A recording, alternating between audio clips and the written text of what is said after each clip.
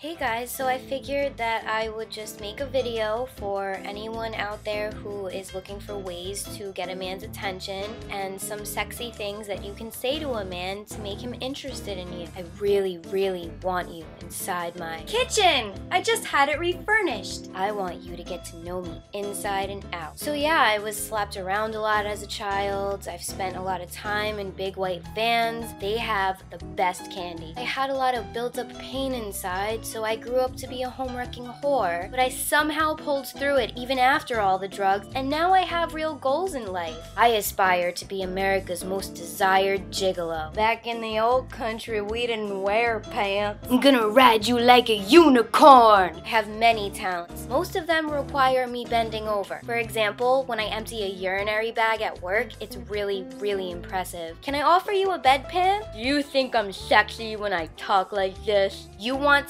sexy? I can be sexy. Look at my hair wafting in the wind! Let's talk about periods. Why do you think it's called menstruation? Because men love to talk about it. Oh, hey, I'm a lesbian, which means there will be no chance of me ever having sex with you. That turns you on? Well, that makes no sense at all. I know it's only our first date, but I can't wait to meet your parents, and our wedding planner, and the divorce lawyer. No prenup. The things I want to do to you, I'm gonna make you my bitch. Get back in your cage before I get the hose again. You can also stuff your bra to make your boobs look bigger. Trust me, he'll never know the difference. You can also stuff your butt to make your butt look bigger. He will never know the difference. It also doesn't hurt to make yourself look like you're pregnant because by doing that, you're basically saying, Look at me! Somebody enjoyed having sex with me! Well, there you have it.